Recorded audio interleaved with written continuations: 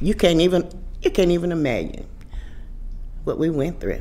But other than that, I think that's it. I started at the age of 12. My first jail time was three days at the age of 12. People in Americus in Sumter County has no idea what we went through because they didn't know. They did not know, and, and no one can talk about that stockade but these girls. I knew that was back there. Okay, can we go in? Yes, ma'am, it's open. Okay. You going that way, you go in this way. Yeah. Okay. We didn't go in that way. Yes, we did. Yes, we did. In the city, it was a during that time was a, a very violent civil rights movement um, that started, and we were protesting as children. My grandmother started taking me to mass meetings out in the country, and going with her, I became very concerned about the issues, not being able to eat in restaurants, not being able to drink out of the same water fountain. Those type things were just injustices. I was told about a mass meeting, and I asked, "What is a mass meeting?" It's a gathering of people. We're gonna come together and we're gonna talk about the situation that's going on right here in Sumter County, Americus Georgia. I attended mass meetings for over a year before I, you know, went to jail. And how old were you in 63? I was 13. On the day that I was arrested, uh, we was marching at the uh, Martin Theater. There was a white side at the Martin Theater, and there was a black side. They refused us to, of tickets to purchase. Evidently, the young lady who was selling the tickets must have called the police department. All of a sudden, we had a rush of policemen coming down to that area. This wasn't here. It was old. The bathroom wasn't here. It was one toilet back here on the side, and then it was a dripping shower head. Mm. But this was our home. I, I joined the uh, demonstration over at Allen Chapel. When we got there, we knelt down and prayed in front of the police station. And when we let, knelt down to pray, uh, Chief Chambers came out and asked us to disperse, and we did not. So they herded us like cattle. I thought we were going to jail in Americus. No, they sent us out of town to Dawson, Georgia.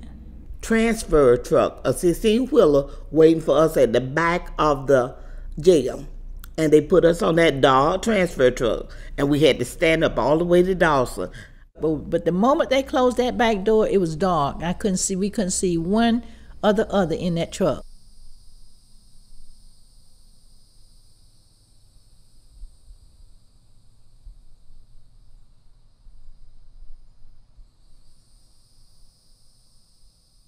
This was our home. Mm. This was our home. For 45 long days. This was our home. Well, this is the first time I've been back. This is my first time back down here. Even when Essence magazine came, I didn't come. Me? What's it like? That's all right, baby. That's all right. It's genuine. Mm. Parents knew that we was in Dawson, but now you're moving us from Dawson. Nobody know where we are. We didn't even know where we were. So we were pushed in this dirty stockade, old stockade that, that had been closed down out soon for years and years with no facility, no bed, and um, no water, no commode, no running commode. We slept on the hard, cold cement floor. When we got there, we were put in a sweat box overnight with a 12 year old there. Can't understand it. You know, like you go to prison and they, what they call it when they put you in the hole? Right. That's what this was. It drained all the water from our bodies. And when we walked out, the floor was full. There was a Wet. puddle of water on the floor. Only one guard, an older gentleman. Uh, we call him Pops. His last name we found out was Mr. Countryman that wore beat-up overalls. One of the girls was so small that the uh, guard would take her out. He would take her over in the room with him and feed her. Sand. Sandra, okay, Sandra. He would feed Sand and give her a little stuff, and she'd come back and share. And while she was there, uh, Mr. Story, the dog catcher, would come, and he said, uh, "Your parents need to know." And so he went around on Sunday morning to the parents' house and let the parents know where their kids were. When I first came back, I still didn't shed no tears. But my cousin Sandra, she come out there and she drive down here and sit on the lot out there. And the workers used to come out there and check and make sure she was all right. She said she feel like a piece of her was always left here. One of the stockade young girl, uh, girls who was sitting on the floor in the picture that you see.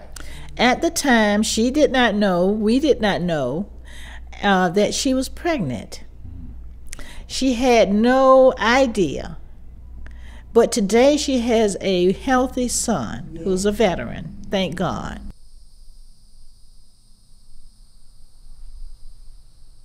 When we got out of the stockade, school had already started. Nobody greeted us or had any kind of reception when we got out. Everybody went back to their own in, little environment. So we never talked to each other about it. We never said a word.